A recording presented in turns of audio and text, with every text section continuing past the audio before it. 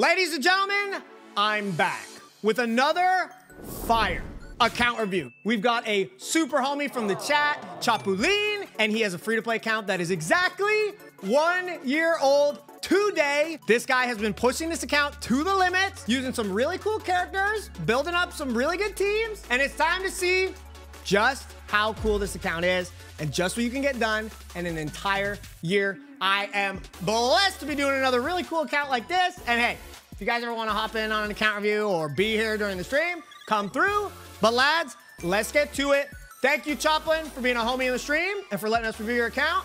Let's go.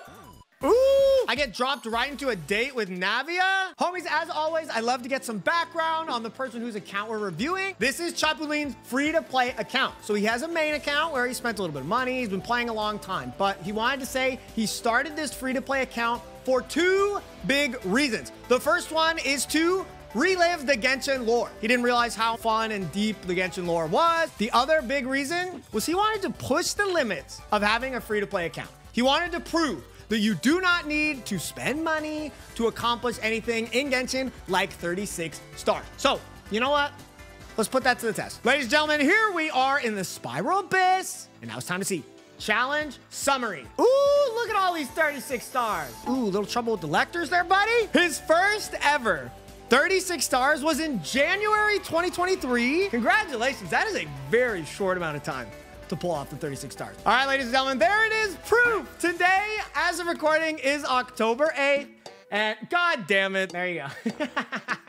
okay, to the day, October 8th. That is today. 2023. It's always fun to start out an account review looking at what characters our homie actually has available. Let's see the five stars we are rocking here. We have Nahida, the absolute GOAT. So big respect to that. Yelan, okay. Hyper Bloom carry. Uh, Raiden Choke, yep. All right, there we go. There's one team for the Abyss. Kazuha, Hu Tao. Dude, let's go. Mona and Keqing for standard banner characters. We've got bangers like Sucrose, Xingqiu, Bennett, Xiangling, all the classic goats. And of course, the Prinzessin. All right, this screen is better to look at what characters our homie has available. We can see he doesn't actually have that many limited characters. Hu Tao, Yelan, Raiden, Kazuha, Nahida. I wonder if our dude's gonna have some constellations on these characters because that's not a lot. It's very, well, here, I'll let him tell. I asked him what kind of characters you like, what kind of team comps you like. He said he enjoys vertically investing in his account, revolving around Nahida, Hu Tao, and Raiden Shogun. If you guys don't know what vertical investment is, it pretty much means you are investing in certain characters a lot. So picking up their weapon, maybe picking up a C1 or any other constellations for them, instead of deciding to grab multiple different characters. So it's vertically investing on those characters and not like spreading out all your primo gems for a lot of different team cards. Because he said the account revolves around Nahida, Hu Tao, and Raiden, let's check out those three right now. We've got Hu Tao. She is holding Dragon's Bane R5. Fantastic free-to-play weapon for Hu Tao. Rocking Crimson Witch. C1. Dude, that's so cool. Look, everyone talks about how good C1 Hu Tao is. Free to play, you just be a little bit patient, and you pick that shit up, baby. Let's go. Triple Crown! Dude, I don't even have Triple Crown Hu Tao. I'm actually a fake Hu Tao fan. Oh my God! This stat spread is honestly super good. Very high crit rate and very high crit damage. Keep in mind, Dragon's Bane does not give any form of crit. So to obtain stats this high are pretty crazy. We'll look at the artifacts later, but my God, that shit is bussin'. Let's take a look at Raiden Shogun now. So he didn't have Staff of Homa. Did he go for Engulfing Lightning? Is gonna be the catch. This one guy. Emblem, let's go. C0, also triple crowns, my dude. Oh my God, he was not lying. 63 crit rate. I wish it was a little bit higher, but alas. Crit damage is great. Crap ton of ER. Beautiful Raiden Shogun, all things considered, my friend. Let's freaking go. The three Archons. You know, the Pyro Archon, Hu Tao, the Electro Archon Raiden, and now the Dendro Archon Nahida. Lore Frogs will know. Choplin, you know, he knows. Okay, here we go. Kagura's Verity. Ooh, 325 EM. Pretty good crit rate. Massive crit damage. And then you don't really need a ER on Nahida. Dude, not bad. This is a big damage Nahida. Holding Deepwood, let's go. Constellation, zero as well. Talents, boom. Three characters, triple crown. And I mean, these are the characters that probably facilitate his whole account. Going into our dude's weapons, we've got R2, Skyward Harp. Homie, I mean, the refinement's cool, but as a free to play, I might have just kept two Skyward Harps. I'm gonna keep it a buck. Kagura's Verity, fantastic. Engulfing Lightning, beautiful. Beacon of the Reed Sea, I respect it. I- I'm wondering if this was actually worth pulling on, but you know, man, you do you. Skyward Pride, probably didn't want that. And then, yo, the Neuvillette book. No, I just put the pieces together. My guy. Dude, your barber's gonna pop off, G. Respect. We've got Favbo, goaded. We've got Sackfrags, the catch. I see the Dragon's Bane. You've got Sapwood, which you can run on your Bennett. Lion's Roar for Keqing. Sack swords, Fav swords, Witsits. Dude, you've got all the you've got all the bangers. Your sack bows aren't refined, but if you're not using Diona, it's not really high priority. Dude, the portable power saw? Get this shit up, bro. This is something I'll just bring up for my free-to-play homies who want some info. He has in Favlance right here, and then he has an R3 one. So it's like, why not take it to R4? Favonius weapons are so freaking valuable. Having multiple of them for two support characters to hold is almost always better than just one. I mean, check it right here. Our dude has two R3 Fav swords. Obviously, this could have been an R5 and an R1. It's smart for certain weapons like this to keep multiple, especially Favonius ones. Hopefully my dude gets another Favbo in the future because there's so many characters that love Favbo. I don't see anything weird here with the weapons, my friend. Everything looks great. Um, but when we get into the characters, it'll be a little bit more clear if we need to level up some certain weapons. Anywho, we've already seen that this guy has great characters and we've seen he's cleared the Abyss in just one year, but it's time to dive a little bit deeper. We looked at Hu Tao's stats already. They were absolutely beautiful.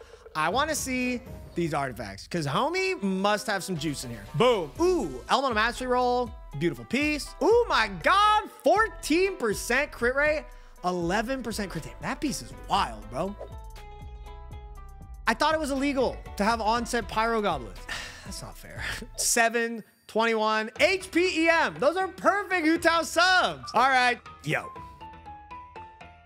this guy's Hu Tao is saucy. These are beautiful pieces. Nothing there needs an upgrade. Dude, if you got the Staff of Homa with this, you'd lose a lot of EM, sure, but like, oh, the crit damage would blow through the roof, man. What a crazy account, bro. All right, let's check out Yelan. Holding the Fav Bow. Love that. Emblem, C0, and the talents are very high. 64, 175. Honestly, that's more than enough crit to consistently get Fav procs. May affect your DPS a little bit, but this is a great Yelan, especially for one year. I hope you get some refinements soon, my friend. Let's take a look at these pieces just out of curiosity. HP, crit rate, crit damage. Love that. Same thing. Crit rate, crit damage. We got an ER roll. HP Sands, crit rate, crit damage. Look at these stats, bro. Hydro Goblet, crit rate, crit damage. He's getting it done, dude. Oh my God. And the crit damage piece. Yeah, this is the worst piece uh, I've seen so far, but it's it's on set. It gets the job done. Dude, great Yelan, man. Great Yelan. Cho, the legend, level 90. Sack Sword R2, emblem as well. Constellation 6. Congratulations on that, man. Dude, one year and get the C6 Xingqiu? That's awesome. Talents are very high. Boom. 63 154. Xingqiu's a character where it's kind of hard to get crit on him. No Ascension stat, no weapon that boosts his crit with Fav or Sack Sword usually. Very nice. Would love to see the crit get a little bit higher in the future, but I mean, this is fantastic. Solid piece here. Pretty good CV. Not bad, man. I can't, it's taking me so long to get a good attack sands on Emblem, so I respect that. Ooh, look at that piece. Not bad. 30 CV. Another on set with really good stats. Bruh, your free to play artifact luck is kind of crazy, dude. Uh, casual 28 CV circlet, by the way. My lord, this guy's gaming. Let's go into Thoma. He's holding Favlance. Love that. On Instructor, okay, that's a big DPS support set. Instructor's cool, but keep in mind it's four star. So you you do just have a lot less base stats, lower base HP, lower crit stats, whatever. But you get the 80 EM, and then you give the party 120 EM. It's a very good set. You just gotta make sure you can overcome the lower base stats. C3, good talents, actually really low elemental mastery. You know what? That's instructor for you. Fav Sword, Kazuha, love that. Viridescent Venerer, Constellation Zero, talents are great. We'll just check if the homies on triple EM. EM, EM, EM. Yo, a lot of attack rolls too. Okay, is this the highest? I guess it's on Viridescent. That's a cool piece. 65 EM, 787 elemental mastery, a little bit of crit for Fav, never hurt nobody, and a lot of VR. Beautiful. We looked at Raiden Shogun's build, which looks very good. This crit rate on the catch would be fire, but on Engulfing Lightning, it is solid, but we'd like to get higher in the future. So let's take a look at these pieces. Attack percent. Crit rate, crit damage, ER. Little bit of a Thanos piece. It's solid for sure. Oh my lord. Sheesh. 40 CV feather with attack percent.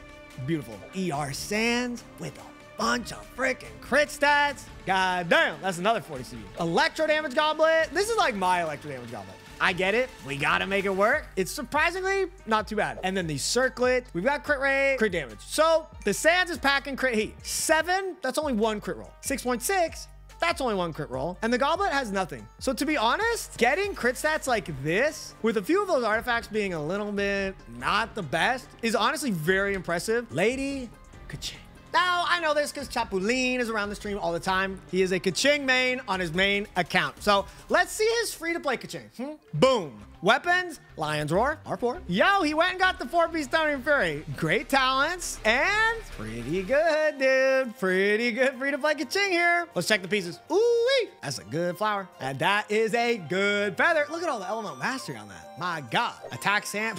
Who is this guy? Okay, this goblet, uh, uh-huh. But, I mean, that's a great piece. 21% attack, 21. Can you do something for me? I'm gonna be dead ass here. Let me take a pause. Our dude said he vertically invests in his account, which usually lends players to have way better artifacts. Why?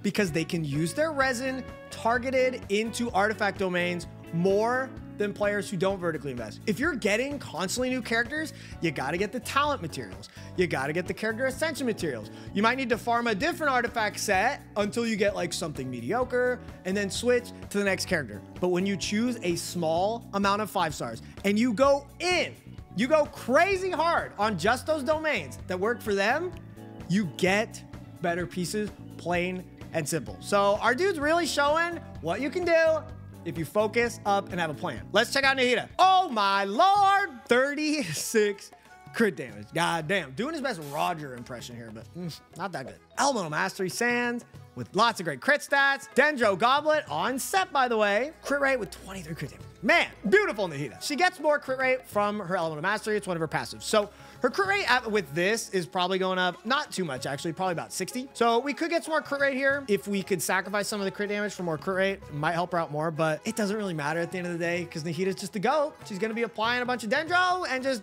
doing work anyway. So great Nahida, man. Sucrose holding four artifacts. Well, Rosaria, another Dragon's Bane. I respect it. There might be a better Lance here for Rosaria, and then you could continue to refine, but once again, the split is smart. Constellation 5. Hope you get that C6 one day, my friend. Yeah, and really high talents on Rosaria. Yeah, this Rosaria is great, man. Let's see how Balls is doing. Toukabou Shigure, two piece, two piece, Constellation 1, talents 389. Honestly, with how much elemental mastery you have, those are great crit stats, man. Kuki on Iron Sting with Flower of Paradise Lost. Homie, I respect this a lot. This is something I haven't even done yet. I don't want to go into the flop domain. I respect you for going out and farming it because, you know, Kuki deserves it. C2, huge constellation for Kuki makes your skill last longer, lasting longer. Uh, lady. um, when the skill lasts longer, you know, you apply Hyper Bloom more often. 186 talents, very solid. The skill's the only one that really matters. All right. I've been excited to see this official holding the R2 Skyward Harp. My dude has went out and farmed Golden Troupe already. Goaded set. You guys got to check out the Whale Project where I got myself some Golden Troupe pieces at the cost of $277. And then we've got C1, fantastic, talents, 298. Beautiful, my friend. Oh my lord, look at that crit rate. I mean, I know Skyward Harp does a lot of work for that. These stats are very freaking good. My God, 90% crit, 165 crit damage. Dude, I gotta see these pieces. Big rolls there with the 44 Elemental Mastery. Love that. Oh my God. That's a good one right there. ER, attack percent roll, sheesh. Elemental Mastery Sands with crit rate, crit damage, good rolls. On set, bro.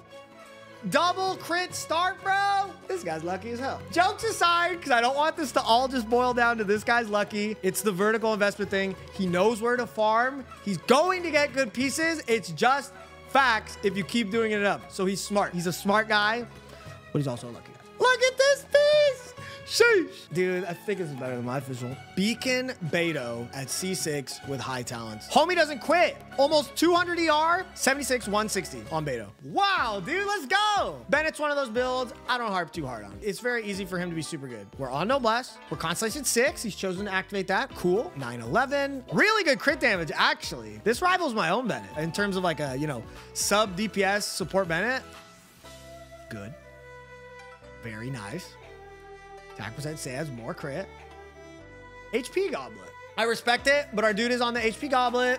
which means he's actually going to do a lot less damage. Solid Bennett, man. Great Bennett. Big heals. And then let's go into Xiangling. She's going to be holding the catch because we got Engulfing Lightning on right. More Emblem, C6, big talents.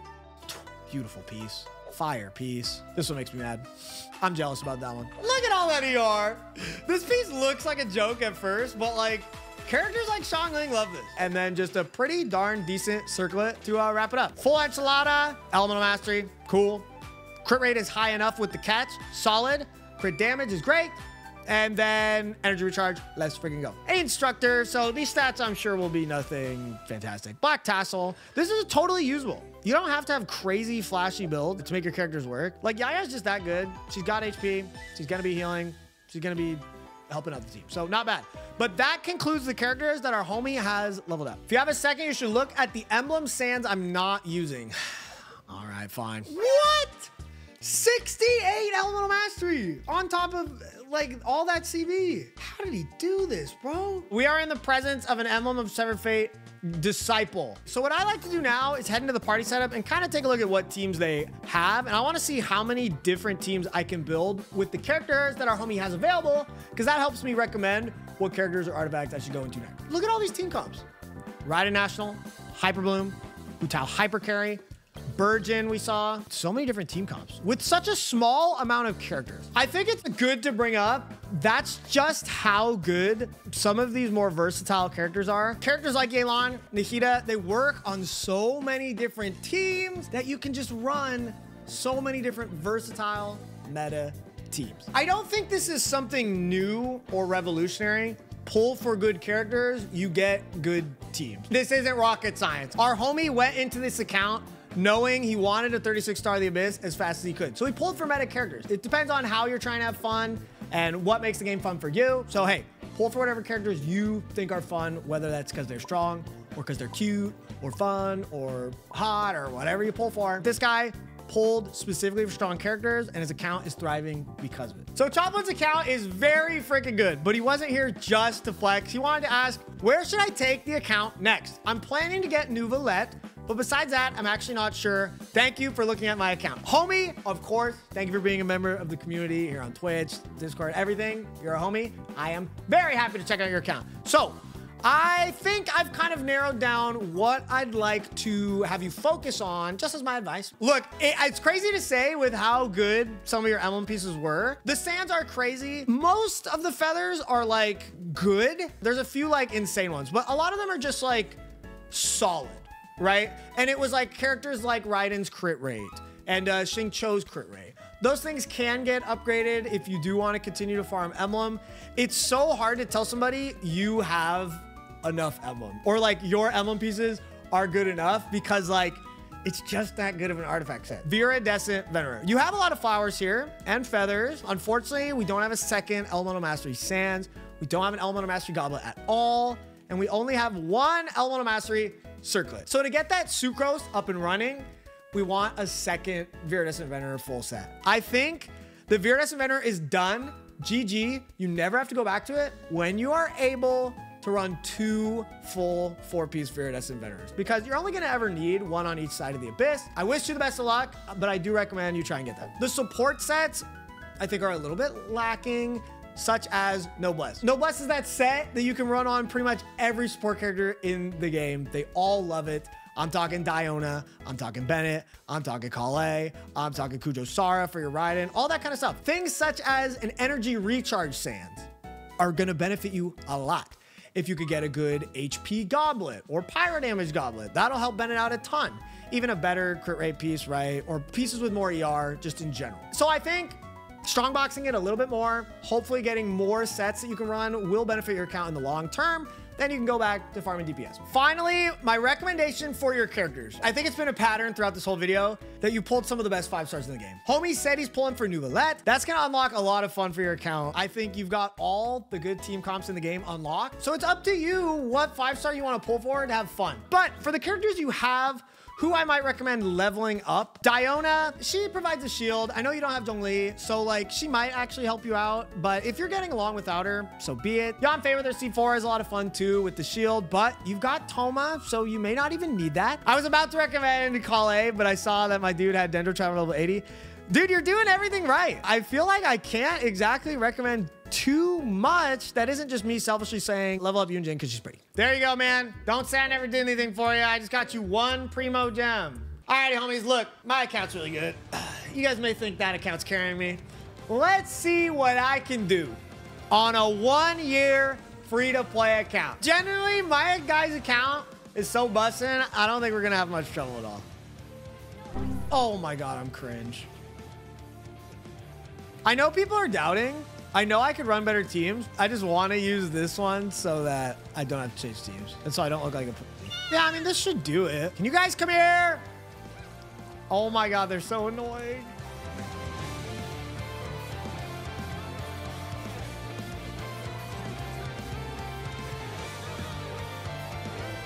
Oh, I got them both grouped. Oh, that was literally perfect.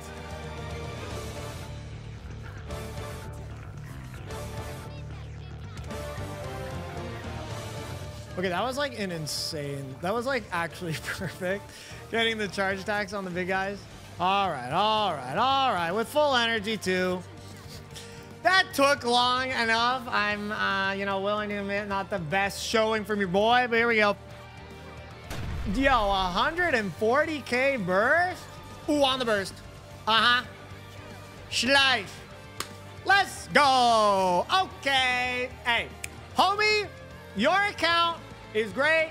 Any time that that took extra was just because I was being lazy and not choosing the best teams because I don't know, I'm stupid. But dude, easy clap, man. Easy 36 stars. Let's go. Now with that scuffed Abyss run over and done with, my friend, that concludes our account review of Choplin's one year exactly free-to-play account. This guy's account slaps, but keep in mind, he strategically pulled for some of the best characters in the entire game. Don't compare yourselves, you know, too hard to this account. This account's kind of try hard. Build the characters you want, but build them smart, farm the right artifacts, and homies, you guys will be 36 star in the Abyss after one year free to play, just like our dude here. So homies, thank you everybody for watching this video on YouTube. Make sure you're subscribed because we're trying to hit 50K by the end of the year. It's gonna be tough, but hey, I believe. Shout out to everybody on Twitch. Homies, thank you guys for watching the stream, supporting the stream as you guys always do. I appreciate you guys very much. Much love. Shout outs to the patrons, everybody who supports your boy over on Patreon and get some sick rewards over there too. We've got Ken, Cloudy, Meow, 120, Sumi, Gophers. Thank you guys, everybody over there. Uh, I appreciate you guys a lot. Lads, let's keep trucking along. Having a great time in Fontaine. I will see you guys in the next Genshin video. Peace, everybody.